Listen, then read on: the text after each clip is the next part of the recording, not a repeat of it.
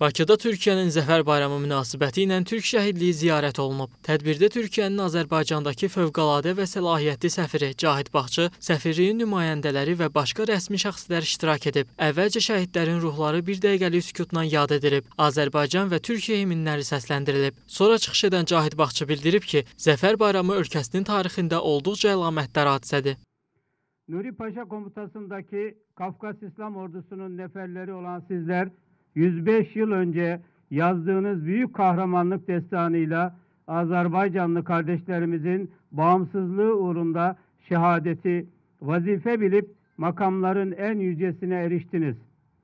Kardeş Azerbaycan'ın bağımsızlığı ve kutsal vatan topraklarının muhafazası için şehit düştüğünüz bu topraklarda bir millet, iki devlet gerçeğinin en açık timsali olarak Türk ve Azerbaycan halkının kalplerinde ebediyen yaşayacaksınız.